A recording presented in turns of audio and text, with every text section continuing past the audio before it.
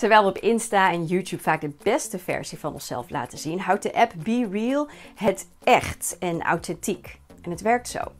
Elke dag ontvang je op een willekeurige tijd een push-notificatie.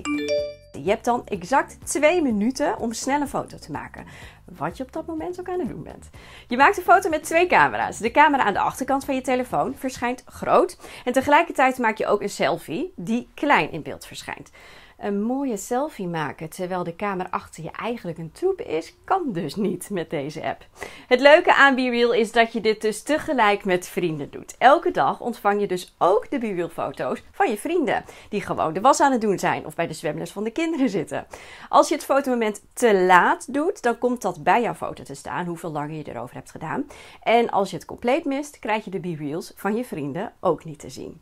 Daarnaast heb je uiteindelijk een leuk dagboek van al jouw gemaakte foto's per dag. Nou, mijn persoonlijke tip is om wel even goed te kijken of jij je locatie ook deelt. Die had ik namelijk in de eerste foto aanstaan en die is tot op de straat nauwkeurig. En dat wil je misschien niet altijd.